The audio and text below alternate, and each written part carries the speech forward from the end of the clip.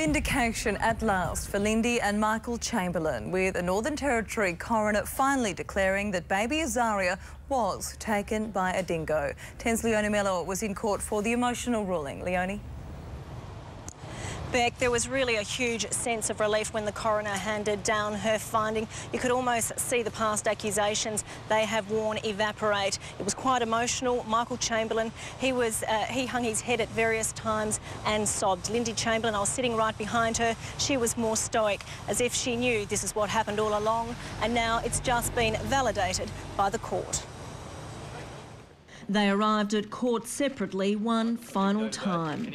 Lindy with son Aidan. Inside, Lindy and Michael sat together, their new families supporting them. For more than 30 years they've been waiting. Now, finally, what they'd always known. The cause of her death was as the result of being attacked and taken by a dingo. With her voice breaking, Coroner Elizabeth Morris offered this. Please accept my sincere sympathy on the death of your special and loved daughter and sister, Azaria. I'm so sorry for your loss. She told them a new death certificate was ready. Lindy reached for her son. He was only six when Azaria died. Then she hugged her lawyer and finally her former husband divided by grief, but reunited briefly once more. Outside, reality hit. I wasn't going to cry, but I think Aidan started me off. and obviously, um, we're relieved and delighted to come to the end of this saga. A legal saga which took too long. If you know you are right,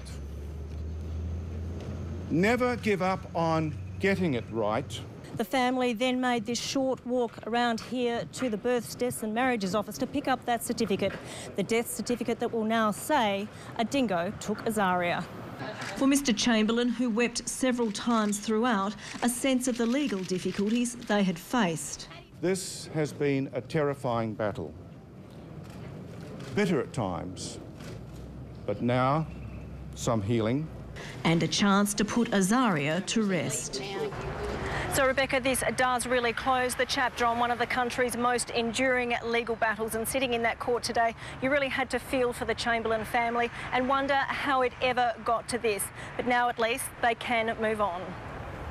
Thank you, Leonie. Tens Leonie Miller in Darwin.